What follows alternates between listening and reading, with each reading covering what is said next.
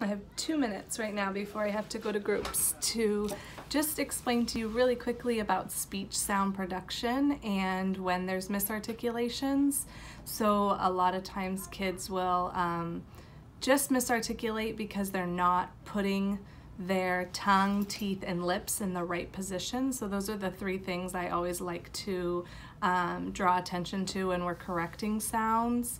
Um, really, the way I explain it is um, it's just a motor pattern that the student has learned wrong and has been practicing over and over wrong for a period of time. So um, just like throwing a baseball, if you learn to throw a baseball wrong for five years, it's going to take time to learn those motor patterns um, better. So that's what articulation therapy is, is just training your tongue, your teeth, and your lips to go and work together to make the sounds correctly because you've been practicing them incorrectly um, for so long.